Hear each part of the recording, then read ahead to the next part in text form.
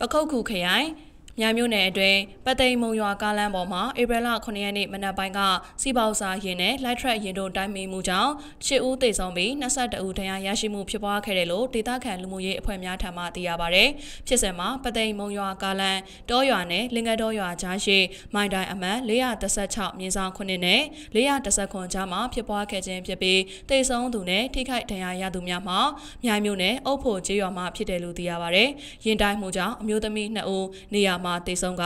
ကြံလူနာများအားနီးစပ်ရာဆေးရုံများကိုတင်ပို့စဉ်6ဦးထပ်မံတေဆုံးခဲ့ပြီးကြံ22ဦးကိုတော့မြိုင်ပခုတ်ကူနဲ့မန္တလေးဆေးရုံများကိုဆက်လက်တင်ပို့ခဲ့ရတယ်လို့သိရပါဗျ။အော်ရင်တိုင်းမှုအခြေအနေကဒီလိုဗျာစီပေါစာကားကမုံရွာနေပြီးတော့6ကိုသွားမှလမ်းမလို့နောက်ပြန်꿰တာအဲ꿰နေတဲ့အချိန်မှာကားလမ်းလယ်မှာကန့်လန့်သဘောမျိုးဖြစ်သွားတဲ့အချိန်ဟိုဘက်ကဘုံကြီးကျောင်းအပွဲသွားမဲ့ကား သုံးစီးပေါ့ဗျာအဲ့သုံးစီးမှာရှေကားကားလဲနေတာကိုမြင်လို့ရက်တယ်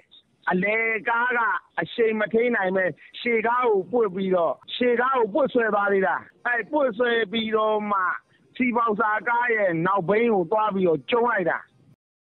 ရင်တိုင်းမှုကြောင့်စိတ်ရုံကိုတင်ပို့ရတဲ့လူနာ22ဦးထဲမှာစိတ်ကူးသားမှုဆက်လက်ခံယူဖို့လိုအပ်သူ9ဦးမှာစိတ်ရုံတွင်စိတ်ကူးသားမှုဆက်လက်ပြုလုပ်နေပြီးကြံလူများမှာတာမန်ပုံးပဲ့တရားများသာရှိခဲ့တာဖြစ်တယ်လို့သိရပါဗျ။ဖြစ်စဉ်နဲ့ပတ်သက်ပြီးရင်မစင်မကျဲမောင်းနေသူစီပေါစာရင်မောင်းနဲ့ light track ရင်မောင်းတို့ကိုလင်္ကတော်ရဲစခန်းမှာပ330ခွန်မြင်းဆောင်338မြင်းဆောင်304ကာကြီးတို့ဖြင့်အမှုဖွင့်အရေးယူထားတယ်လို့သိရပါဗျ။